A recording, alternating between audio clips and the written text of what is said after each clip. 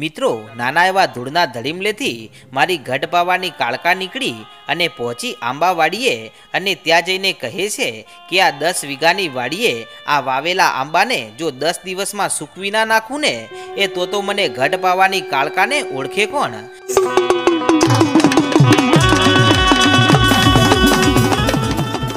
અને ત્યારે મહાકાળીનો આવો ગુસ્સો જોઈ અને ધૂળના ધડીમલેથી મારી ચોટીલાની વિષ બુજાડી ચામુંડા દોડતી આવી અને પછી ત્યાં જે ઘટના બને છે તો ખરેખર જોવા જેવી છે. તો મિત્રો, સરસ મજાની ઘટના છે. તો પૂરી જોવાનું ભૂલશો નહીં. તો ચાલો તેને વિસ્તારથી જોઈએ. નમસ્કાર મિત્રો, વાવડીમાં રહેતા એક દાનભા દેવી પૂજક છે અને જેમણે દસ વીઘા જીવડી વાડી છે અને આ વાડીમાં દસ વીઘામાં તેમણે આંબા વાવેલા છે. તેથી જ્યારે પણ ઉનાળાની ઋતુ આવે, ત્યારે આંબાની કેરીઓ તો એવી આવે કે વાત ના પૂછો. અને કોઈ પણ મહેમાન આવે તો પોતે જેટલી ઉપાડી શકે, એટલી કેરીઓ આ દાનભા એમને આપતા. આવા તેઓ દિલના દાતાર હતા અને આ દાનભાને બે નાના નાના દીકરા છે, જેમાં એકનું નામ મનોજભાઈ છે અને બીજા મોટા દીકરાનું નામ છે દિલીપભાઈ. અને આ બંને ભાઈઓ હંમેશા લડતા રહે છે, જેમાં મોટા ભાઈ દિલીપ આ મનોજભાઈને ખૂબ જ મારતા અને આમ કરતા કરતા સમય વીત્યો અને આ બંને ભાઈઓ મોટા થાય છે, ત્યારે દાનભા એમના લગ્ન કરાવી નાખે છે અને આમ દાનભાને હવે ગડપણ આવે છે અને પોતે હવે પોતાની જિંદગીના છેલ્લા શ્વાસ લઈ રહ્યા હોય છે. ત્યારે એમના બંને દીકરાઓને પોતાની પાસે બોલાવે છે. ત્યારે બંને દીકરાઓ એમની પાસે આવે છે. ત્યારે આ દાનભા મરતા મરતા કહે છે કે, હે મારા દીકરાઓ, મેં ક્યારેય તમારી પાસે કોઈ આશા નથી રાખી કે ક્યારેય તમને કોઈ વાડીનું કામ નથી કરાવ્યું. પણ આજે હવે મારી જિંદગી અહીંયા પૂરી થાય છે. માટે તમને બંનેને હું મારી બે જવાબદારીઓ આપવા માંગુ છું અને એ તમારે પોતાના પ્રાણના ભોગે પૂરી કરવાની છે. તો બોલો, તમે આ બંને જવાબદારીઓ લેવા તૈયાર છો? ત્યારે બંને ભાઈઓ કહે છે કે, બોલો બાપુ, અમે તમારી બંને જવાબદારીઓને સાચવવા માટે તૈયાર છીએ. કે, તો મને વચન આપો. કે, હા બાપુ, વચન. તમે બોલો ખાલી. અમે એ કરવા માટે તૈયાર છીએ. અને ત્યારે આ દાનબા કહે છે કે, બેટા, આપણે એક જ દસ વીઘાવાળી વાડી છે અને એમાં મેં આંબા વાવ્યા છે અને એ મેં મારા જીવથી પણ વધારે વાલ કરી અને એમને ઉછેર્યા છે. તો તમારે બંને ભાઈઓએ લડ્યા વગર એ આંબાનો ઉછેર કરવાનો છે અને એમાં તમને ઘણો નફો થશે. અને બીજી વાત એ છે કે, આપણા જૂનું જે ઘર છે ને, ત્યાં મારી ગઢ પાવાની કાળકા અને મારી ચોટીલાની વિષ ભુજાડી ચામુંડા જેવી દેવ બેઠી છે અને આટલા દિવસ તો મેં એમના ધૂપ દીવા અને પૂજા ભક્તિ કરી છે. પણ હવે તમારે એમની સેવા પૂજા કરવાની છે અને ચૈત્ર મહિનાની આઠમ આવે ને ત્યારે એમના નર નિવેજ કરજો અને આ બે મારી જવાબદારીઓમાં તમે પાછા નહીં પડો ને તો તમને દુનિયાની કોઈ તાકાત પાછા નહીં પડવા દે. અને આટલું કહી અને આ દાનભા પોતાના પ્રાણ છોડી દે છે અને ત્યારે એમના અગ્નિ સંસ્કારની વિધિ પૂરી કરી અને આ બંને ભાઈઓ ગામમાંથી વાડીએ રહેવા માટે ચાલ્યા જાય છે અને આ આંબા વાડીની દેખભાળ કરે છે. અને રોજ સાંજે જ્યારે ગામમાં માતાજીના ધૂપ દીવા કરવાનો સમય થાય, ત્યારે આ દિલીપભાઈ રોજ આ મનોજભાઈ સાથે ઝઘડો કરે કે તારો બાપ પૂજવા માટે મૂકીને ગયો છે, તો જા તારી જવાબદારી તું પૂરી કર. અને ત્યારે નાનો ભાઈ મનોજ માતાજીને ખૂબ જ માને છે, તેથી દીવા ભરવા માટે ગામમાં જાય છે અને દીવા ભરી અને કહે છે કે, માડી, મારો મોટો ભાઈ રહ્યો ને એ ગુસ્સાવાળો છે, તો એને તું માફ કરી દેજે, એ દિલનો તો સારો છે. અને મિત્રો, આમ કરતાં કરતાં ઉનાળો બેઠો અને આ આંબા ઉપર મોર આવી ગયો છે. અને આમ કરતાં કરતાં દિવસો વીત્યા અને કેરીઓ આવી જાય છે. અને આ વખતે કેરીઓના ભાવ ખૂબ જ વધારે હોય છે. તેથી આ બંને ભાઈઓ અને એમની પત્નીઓ સાથે મળી અને આ કેરી વીણવા માટે પોતાની વાડીઓમાં જાય છે. ત્યારે આખા દિવસની વીણેલી કેરીઓને લઈ અને દિલીપભાઈ બળદગાડામાં લઈ અને માર્કેટમાં જાય છે. અને ત્યારે રોજ હવે તેમને ઢગલો રૂપિયા આવવા લાગ્યા. તેથી તેઓ નાના ભાઈને કહેતા નથી અને રાત્રે એમની પત્નીને કહે છે કે ગમે ત્યારે આ વાડીના બે ભાગ પડશે, તો અડધો ભાગ મારા નાના ભાઈને આપવો પડશે. અને બીજી વાત કે આ વખતે પણ આજે ઢગલો રૂપિયા આવી રહ્યા છે, તો એમાં પણ આપણે તેને ભાગ તો આપવો પડશે. તો એ માટે આપણે એક કામ કરીએ અને આ મનોજ સાથે ઝઘડો કરીએ અને મોટો ઝઘડો કરી અને એને મારી મારી અને આ વાડીમાંથી કાઢી મૂકીએ. તો આપણને બીજો કોઈ આ રૂપિયામાં ભાગ પડાવવાવાળો આવશે નહીં અને આપણને મજા પડી જશે.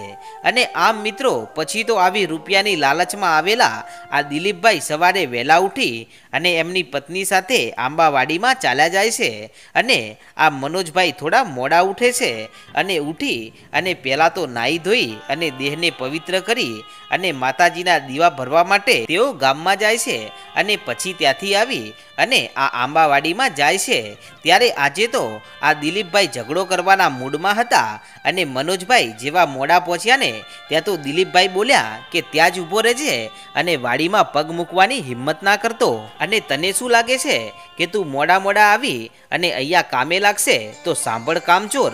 મારી વાડીમાં હવે તારા જેવા કામચોરની કોઈ જરૂર નથી. અને આમ પછી તો બંને ભાઈઓ ત્યાં વાડીઓમાં ખૂબ લડે છે. અને મનોજભાઈ કહે છે કે આ વાડી મારા બાપની છે. તારા એકલાની નથી અને ત્યારે આટલી વાત સાંભળતાની સાથે તો આ દિલીપભાઈને વધારે ગુસ્સો આવી જાય છે અને આંબાની એક ડાળને ભાંગી અને આ મનોજભાઈને બરાબર માર મારતા મારતા વાડીની બહાર કાઢે છે. કે આજ પછી આ વાડીમાં તારો અને તારી પત્નીનો પગ ના જોઈએ, નહીતર બંને જણાને જીવતા ને જીવતા અહીંયા જમીનમાં દાટી દઈશ. અને ત્યારે મનોજભાઈ તો નાનપણથી જ આ દિલીપભાઈના હાથનો માર ખાતા આવ્યા છે, તેથી તેઓને ડર પણ લાગે છે. અને તેથી આ ડરના કારણે આ મનોજભાઈ રડતા રડતા એમની પત્નીની પાસે જાય છે અને ત્યાં જઈ અને આ બનેલી બધી ઘટના કહે છે કે મોટાભાઈએ મારી સાથે આવું કર્યું છે.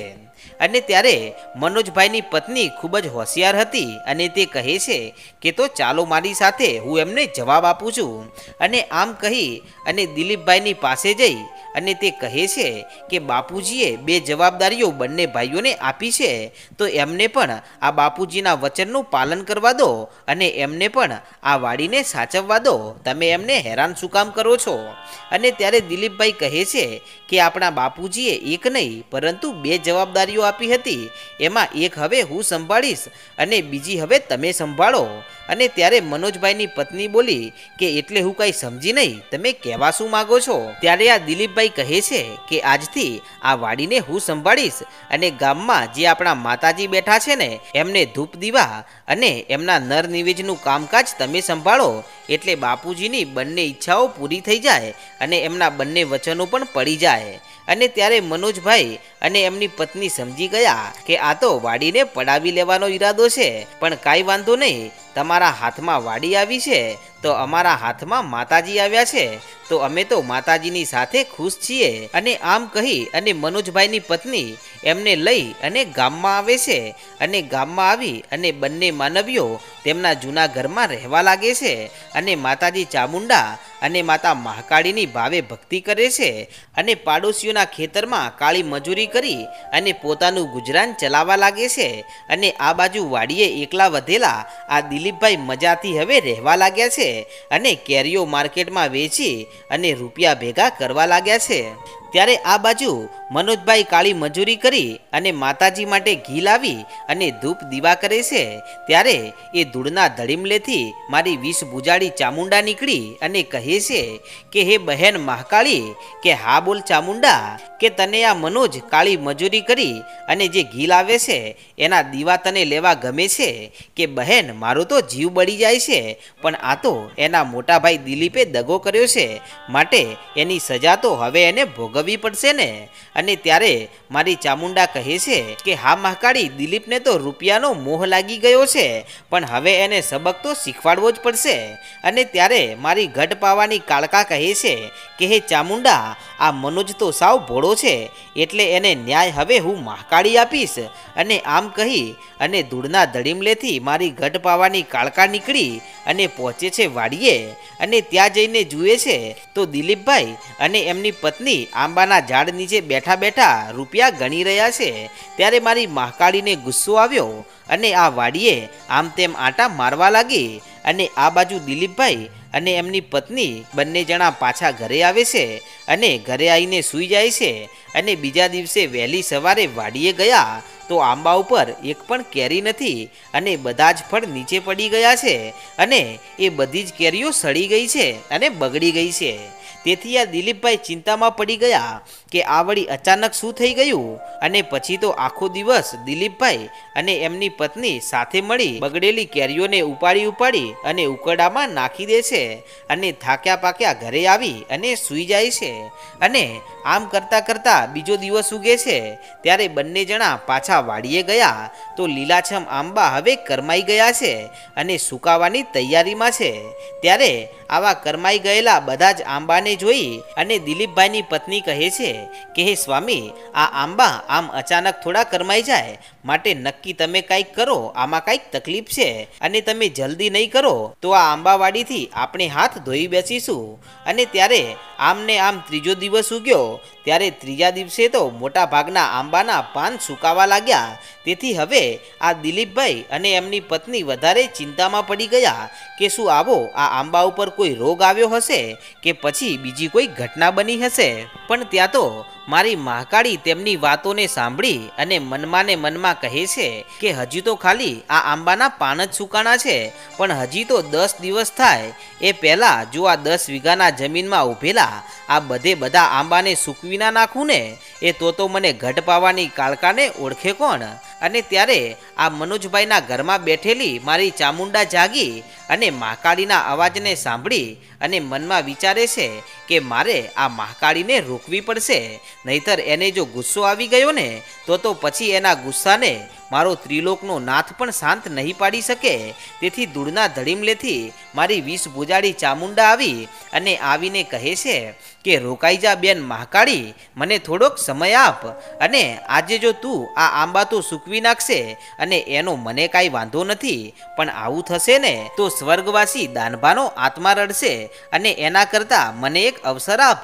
તો હું દિલીપને જઈને સમજાવું છું અને જો તે માની જાય તો ઠીક છે અને જો ના માને તો પછી તું તારું ધાર્યું કરજે. અને ત્યારે મારી મહાકાળી કહે છે કે તો કાંઈ વાંધો નહીં ચામુંડા, આજનો દિવસ તારો અને આવતીકાલનો દિવસ મારો. કે ભલે મહાકાળી અને પછી એ દિવસની રાત્રે મારી ચામુંડા આ દિલીપભાઈના સપને ઉતરી અને કહે છે કે કેમ દિલીપભાઈ, મજામાં છો ને? અને ત્યારે દિલીપભાઈ પણ સપનામાં વાતો કરે છે કે માડી તમે કોણ? હું તમને ઓળખી ના શક્યો. કે દિલીપ હું તારા એકોતેર પેઢીના વડવાનું ધરમ માતા ચામુંડા બોલું છું કે અરે રે માડી તમે, અરે મેં તો ક્યારે તમને દિલથી યાદ પણ નથી કર્યા કે તારા નામના કદી ધૂપ ધુમાડા નથી કર્યા. તો પણ માડી, તું આજે મારા સપને આવી તો માડી તને ઘણી ખમ્મા છે કે દિલીપ તારા સપને નથી આવી પણ તને બચાવવા આવી છું કે કેમ માડી, મને શું થવાનું છે કે દિલીપ તારા બાપુ દાનભાઈએ મારી ખૂબ ભક્તિ કરી છે અને એમના બંને દીકરા અમારા માટે એક સમાન છે. પણ દેવી દેવતાઓ તો હંમેશા ધર્મના માર્ગ ઉપર ચાલતો હોય ને, એવા માણસનો સાથ આપે છે. પાપી લોભી અને લાલચીને નહીં. અને દાનભાઈએ આ વાડી તમને બંને ભાઈઓને ભાગમાં આપી હતી. પણ તમે શું કર્યું? તમારા નાના ભાઈને રૂપિયાની લાલચમાં આવી અને એને મારીને કાઢી મૂક્યો. માટે જૂના ઘરમાં બેઠેલી મહાકાળીમાં ગુસ્સામાં આવી ગયા છે અને તારા ખેતરના એ બધા જ આંબાને સૂકવી નાખવા આવી છે. માટે તને ચેતવવા આવીશું કે નાના ભાઈની માફી માગી અને આ રૂપિયામાં અને આ વાડીમાં એ નાના ભાઈને અડધો ભાગ આપી દે.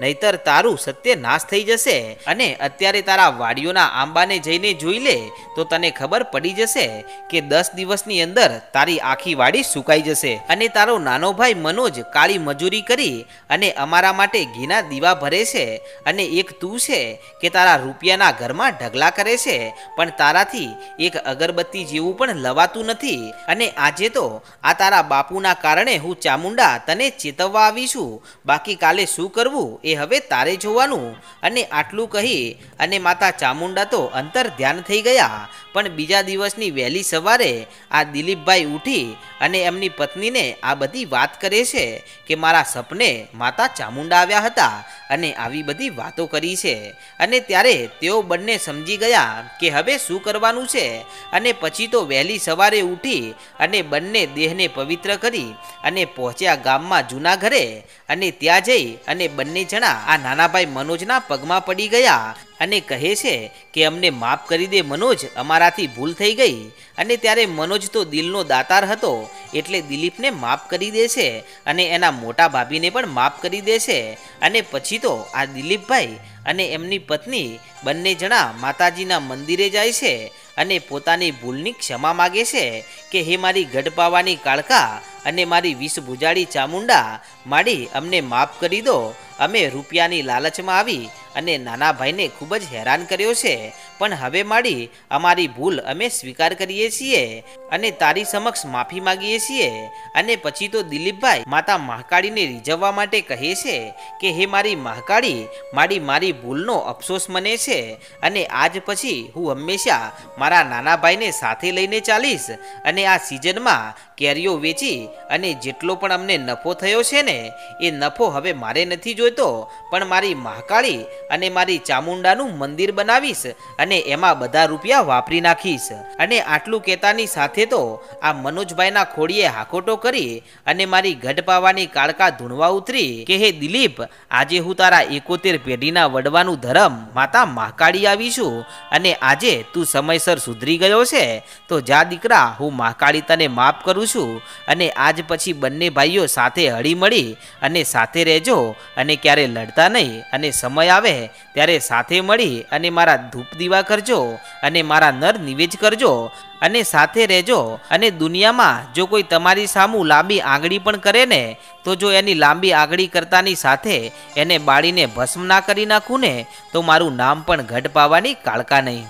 અને મિત્રો, આમ પછી તો બંને ભાઈઓ સાથે હળીમળી અને રહેવા લાગ્યા અને સાથે કામ કરવા લાગ્યા અને માતાજીએ બંનેને લીલા લહેર કરાવી અને સુકાયેલી વાડી પણ પાછી લીલી છમ થઈ જાય છે. તો મિત્રો, આવા ઇતિહાસ છે મારી ગઢ પાવાની કાળકાના અને મારી ચોટીલાની ચામુંડાના. તો મિત્રો, આવા ઇતિહાસ રોજે રોજ સાંભળવા માટે આજે જ આપણી ચેનલ વહાણવટી ડિજિટલને સબસ્ક્રાઇબ કરો.